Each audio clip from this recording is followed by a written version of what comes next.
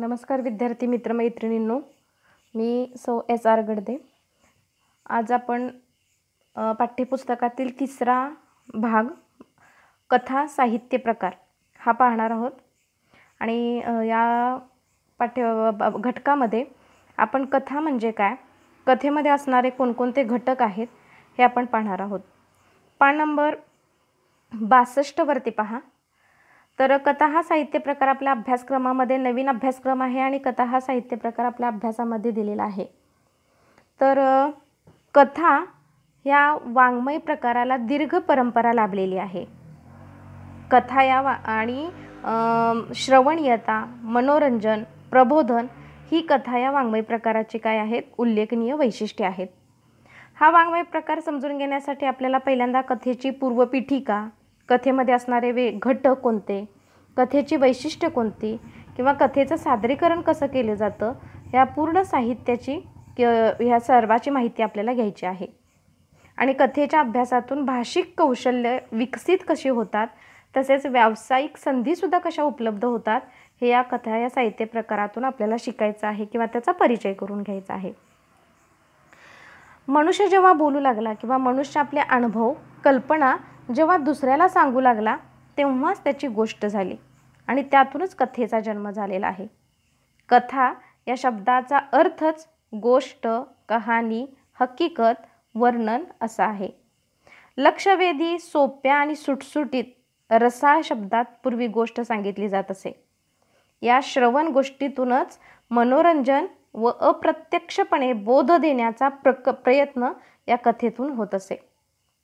मौखिक परंपरेतून सुरू झालेल्या व लिखित स्वरूपात स्थिरावलेल्या कथा या वाङ्मय प्रकाराला काय आहे? उत्तरोत्तर लोकप्रियता लाभत गेलेली आहे. कथ म्हणजे सांगणे निवेदन करणे. कथ या मूळ धातूपासून कथा हा शब्द तयार झालेला आहे. भारतात कथा या साहित्य प्रकाराला फार मोठी परंपरा आहे. आता आपला अनुभव दुसऱ्याला सांगण्याची माणसाची स्वाभाविक प्रवृत्ती आहे. आणि या अनुभवातूनच माणसाला काही शिकायला मिळावे. या हा हेतू सबरोबरच मानवी मनाच्या मनोरंजनाचाही हेतू या कथेमागे असतो. अनुभव कथनाबरोबरच अनुभव ऐकण्याची आवड मानवी मनाला असते. सांगणे आणि ऐकणे या दोन स्वाभाविक प्रवृत्तीतूनच मनुष्याच्या उत्पत्तीपासूनच कथेची निर्मिती झाली असे आपल्याला म्हणता येईल. विद्यार्थी मित्र मैत्रिणींनो कथेचा जन्म कसा झाला पहा? माणसाबरोबरच जन्माला आलेली ही कथा माणसाला जन्मभर सोबत करत असते. बदलत्या वयाप्रमाणे आवडत्या कथेचे स्वरूपसुद्धा बदलत जाते. लहानपणी कावळ्या चिमणीची गोष्ट परीच्या गोष्टी राजा राणीच्या गोष्टी जादूच्या गोष्टी आवडत असतात. तर तरुणपणी प्रेमाच्या गोष्टीची ओढ म्हणायला लागते. वाढत्या वयाबरोबरच ही आवड बदलत जाते रहस्य कथा पराक्रमाच्या कथा ऐतिहासिक कथा ऐकण्याची आणि वाचण्याची आवड निर्माण होते. आणि या आवडीतूनच माणसाच्या आयुष्याशी निगडीत असलेल्या सुखदुःखांच्या विषयांशी ही कथा तद्रूप होते आणि माणसाच्या जीवनाचे वास्तव दर्शन घडवते. थोडक्यात माणसाच्या मनोरंजनापासूनच माणसाला वास्तवतेचं भान देण्याचं सामर्थ्य या कथा या वाङ्मय प्रकारात असलेलं आपल्याला पाहायला मिळतं.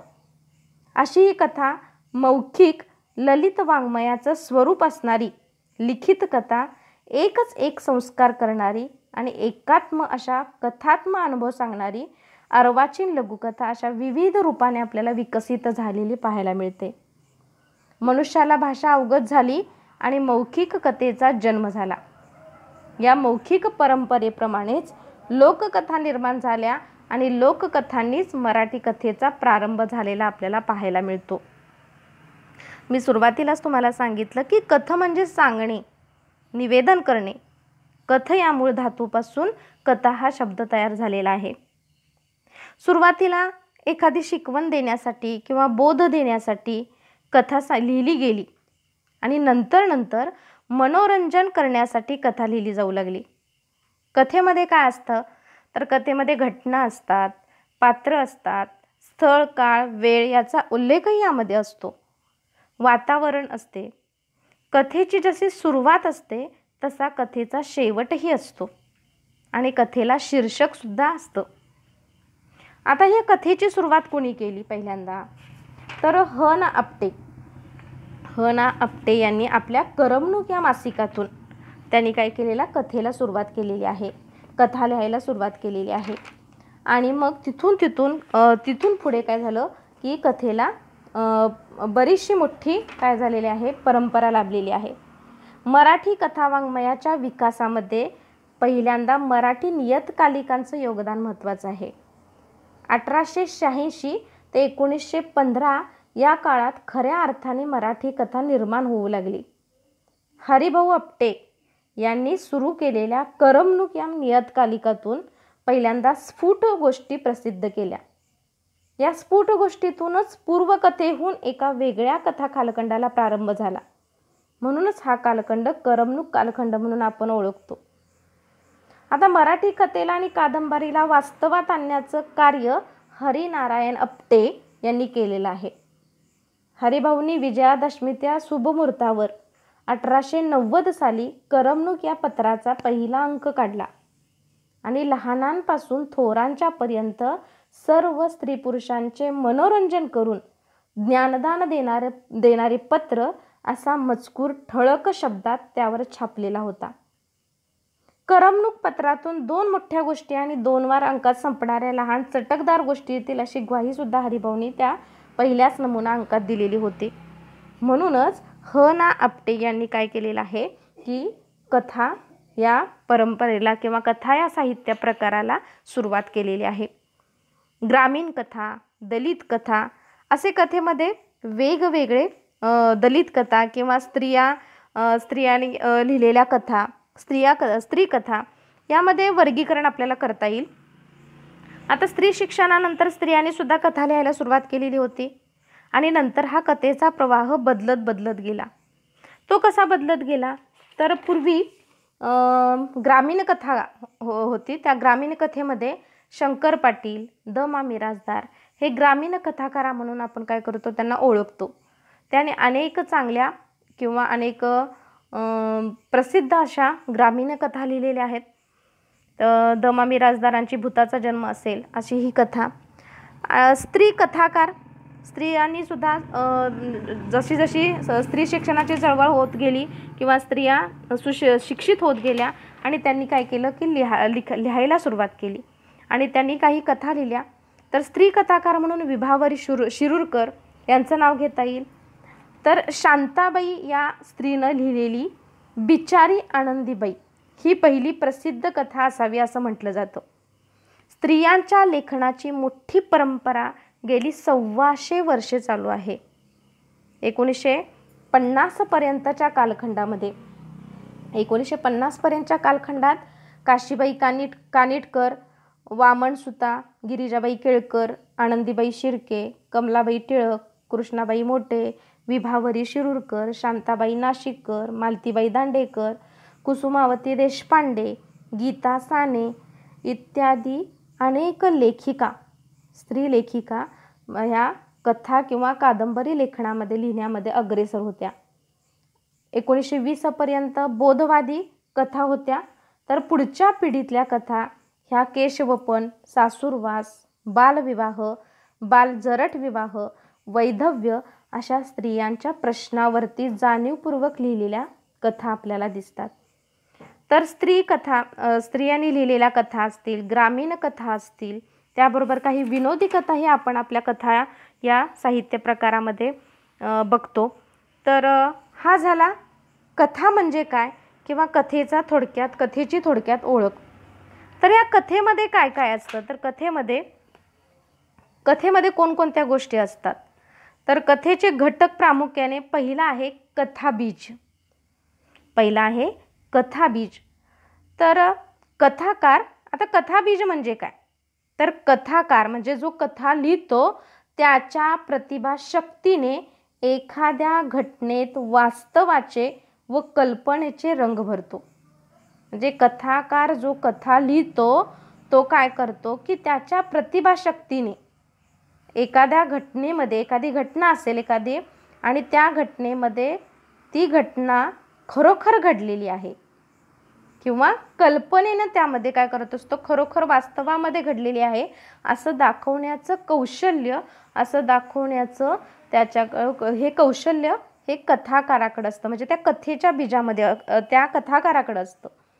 तर हे करताना का तो काय करतो? निसर्ग समाज सांस्कृतिक संदर्भ वातावरण इत्यादी घटकांचे तो सहाय्य घेतो. या सर्व घटकांच्या मदतीने काय होतं की घटना मालिकेचे कथात्मक साहित्यात रूपांतर होते. म्हणून कथेत घटना हा महत्त्वाचा भाग उरतो. कथेत या मूळ घटनेलाच कथाबीज असे म्हणतात. पहा कथाकार काय करतो? आपल्या प्रतिभाशक्तीने त्या कथेमध्ये काय करत असतो? वास्तवाचे रंग भरतो. म्हणजे ती कथा समोर आपल्याला घडत आहे. असा अभ्यास त्या वाचकाला वाचकामध्ये निर्माण करतो. म्हणजे तिथला असणारा निसर्ग असेल तिथला असणारा जो समाज आहे तिथलं सामाजिक वातावरण आहे तिथलं जे काही सांस्कृतिक संदर्भ दिलेले असतील या सगळ्या गोष्टींची मदत लेखक काय करतो की त्यामध्ये त्या कथेमध्ये उतरवत असतो. आता उदाहरणार्थ दमा मिराजदारांनी भूताचा जन्म ही कथा लिहिलेली आहे. या कथेमध्ये जो त्यातलं जे पात्र आहे तुकाराम लांडगे नावाचं जे पात्र आहे तो तुकाराम रस्त्या म्हणजे रात मध्य रात्री अमावस्येच्या रात्री जेव्हा गुणगुळ्याच्या माळावरून चालत जात होता त्यावेळेला तिथं त्याच्या मनामध्ये जी भीती होती ती भीती कथाकारांनी म्हणजेच लेखकाने अगदी हुबेहूब तिथं काय केलेली आहे चित्रित केलेली आहे किंवा वर्णन केलेली आहे. दुसरा काय आहे कथेचा घटक आहे? तो म्हणजे कथानक. आता कथानक म्हणजे काय? तर कथानकामध्ये घटना प्रसंग पात्रांच्या कृती आणि स्वभाव वैशिष्ट्य वातावरण इत्यादींचे तपशील हळूवारपणे काय होतात? उलगडत जातात. कथेमध्ये कथेमध्ये कथेला सुरुवात झाल्यानंतर लगे म्हणजे कथानक हळूहळू हळूहळू पुढं जात असतं. कथानकामधली जी घटना आहे कथेमधली जी घटना आहे जो प्रसंग आहे तो काय होतो? पात्रांच्या मदतीनं हळूहळू हळू पुढे पुढे पुढे जात असतो. मग त्या कथेमध्ये असणाऱ्या पात्राचे स्वभाव असेल किंवा त्याच्या असणारे आजूबाजूचं असणारं वातावरण असेल. आत्ता मी तुम्हाला कथा सांगितली की द मा मिराजदारांची भूताचा जन्म. ही कथा ग्रामीण कथा आहे की समाजामध्ये अंधश्रद्धा किती आहे आणि अंधश्रद्धेतून एका भूताचा जन्म कसा होतो ही एक विनोदी कथा आणि ग्रामीण कथासुद्धा आहे. आणि या विनोदी कथेमध्ये देवमा मिराजदारांनी त्या असणाऱ्या तुकाराम लांडगे या व्यक्तीचा किंवा त्या पात्राच्या स्वभावाची वैशिष्ट्य सांगितलेली आहेत. आता तो कसा आहे? तर तो पैलवान आहे. आता पैलवान आहे तरीसुद्धा तो कशाला घाबरतो? तर भूताखेत्यांच्या गोष्टीला भूताच्या गोष्टीला किंवा जादूटोणा या गोष्टीला तो घाबरतो. म्हणजे तो जरी अंगानं मोठा असला तरीसुद्धा तो कसा आहे की भितऱ्या स्वभावाचा आहे. हे आपल्याला त्या वर्णनातून त्या कथेमध्ये असलेल्या कथानकातून आपल्याला त्या पात्राच्या वर्णनातून आपल्याला काय होतं लक्षात येतं. कथेत कथानकातील घटकांचे एकत्रीकरण केले जाते. अनेक घटक त्या कथेमध्ये एकत्र केले जातात. आणि या एकत्रीकरणातूनच काय होतं? कथा आकाराला येत असते आणि हे कथानक उलगडताना त्यातला प्रवाहीपणासुद्धा जपला पाय पाहिजे किंवा जपला जातो. कथा जशी जशी पुढं जाते तसा तसा वाचकाला त्याच्यामध्ये काय मिळाला पाहिजे? एक आनंद मिळाला पाहिजे. किंवा कथा वाचनाचा त्याच्यामध्ये आवड निर्माण झाली पाहिजे. कथेचा शेवट काय होतो याची उत्कंठा त्या वाचकाला निर्माण झाली पाहिजे. आणि म्हणून कथानकामध्ये काय केला जातो की एक प्रवाहीपणा आणला जातो. सर्व घटकांचं एकत्रीकरण केलं जातं आणि तो प्रवाहीपणा जपलासुद्धा जातो. कथाकाराच्या मनामध्ये कथेच्या अनुषंगाने निर्माण झालेला भावाशय वाचकापर्यंत पोहोचवण्यासाठी कथन करणे हे कथानकाचे प्रयोजन असते. आता कथन करायचं म्हणजे त्याचा स्वभाव त्या पात्राचा असेल तिथलं वातावरण असेल त्या पात्राची स्वभाव वैशिष्ट्य असतील या सगळ्या गोष्टींचं कथन त्या कथेमध्ये लेखकाला करणं अत्यंत गरजेचं असतं. कथेचे दोन घटक आत्ता आपण बघितलेले आहेत. पहिला आहे कथाबीज आणि दुसरा आहे कथानक. कथा म्हणजे काय? कथेची वैशिष्ट्य कोणती? कथेची परंपरा कधीपासून सुरू झाली?